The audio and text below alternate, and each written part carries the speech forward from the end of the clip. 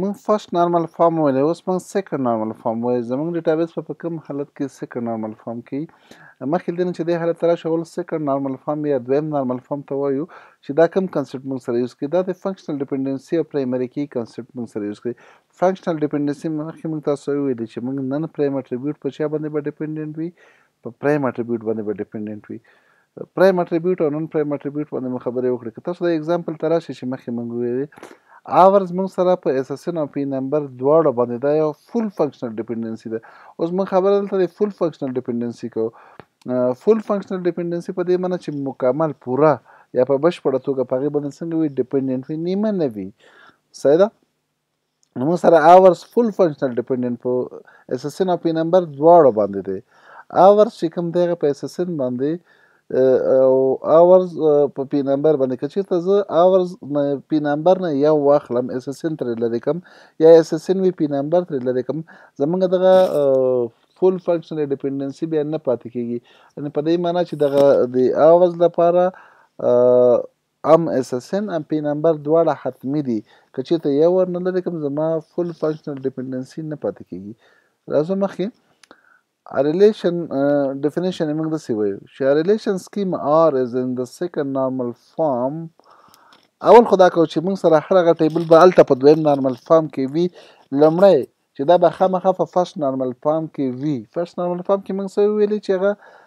کمپوزیټ اټریبیوټ به نه راپریدي هغه به متري لرې کړی وي نسټډ ټیبل به نه وي هغه به متري لرې کړی وي او بل ملټي ویریډ اټریبیوټ به لرې کړی دا درې شیان به پکې نه وي هغې نه بغیر نور به سوي اف ایوري نن پرایم اټریبیوټ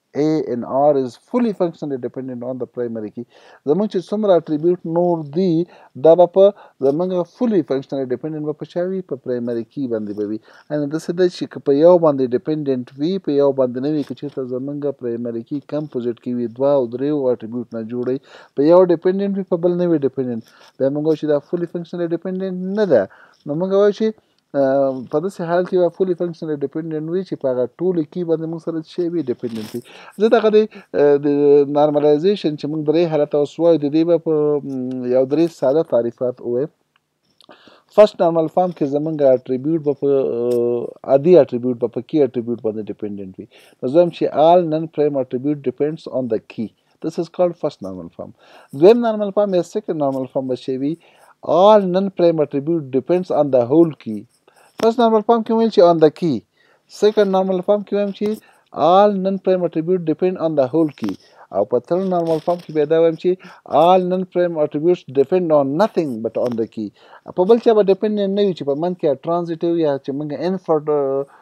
ټرانزیټیو ډیپندنسي ویریا به پکې نه وي چې یو په یو تکیه کړی وي هغه په بل تکیه کړی وي نه ډایرکټ به په پرایمري کې باندې څنګه وي تکیه کړی وي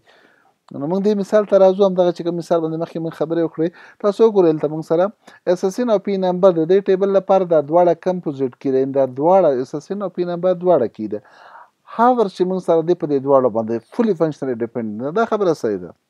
خو ای نیم چې کوم دی هغه یوازې په SSN ډیپنډنټ دی. پي نیم او پي لوکیشن چې کوم دی دا په پي نمبر ډیپنډنټ دی. نو موږ وایو چې دا ټیبل موږ سره فرسټ نارمل فارم کې دی. ولې فرسټ نارمل فارم کې دی؟ ځکه په دې کې کمپوزیټ اټریبیوټ نشته. په دې کې ملټي ویلیډ اټریبیوټ نشته. په دې کې نسټډ ټیبل نشته. نو زموږ دغه ټیبل فرسټ نارمل فارم کې دی. خو سیکنډ نارمل فارم کې نه دی. ولې؟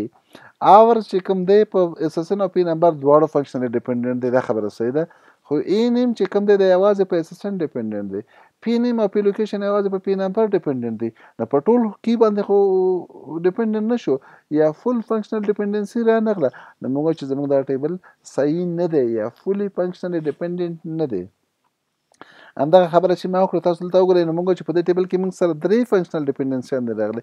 هاور چې کوم دی په پی نمبر او سیسن دواړو باندې فنکشنل ډیپندنت دی یا فول ډیپندنت دی خو کوم څه چې ما سره اف ډي 2 دی یا فنکشنل ډیپندنسي 2 دی هغه ای نیم یوازې او یوازې په اس اس ان باندې ډیپندنت دی او فنکشنل ډیپندنسي درې چې کوم دی موږ سره پی لوکیشن او پی نیم دا یوازې په پی نمبر باندې ډیپندنت دی نو موږ چې اف ډي 2 از ناټ ا فول فنکشنل ډیپندنسي اون د پرایمري کی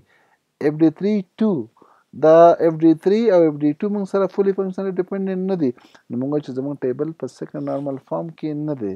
صحیح ده څنګه سیکنډ نارمل فارم ته راولو موږ سره اسانه طریقه هغه ټیبل راوخله او کټ یې که کټ یې که په کوچنیو ټیبلو باندې تقسیم که څنګه به راخلو یو ټیبل به موږ سره راشي چې آواز په پی نمبر او په اس اس ان دواړو باندې فنکشنلی ډیپینډنټ وي زموږ یو ټیبل دا شو دې ته فرض وکړه زه ای پی ون نوم ورکوم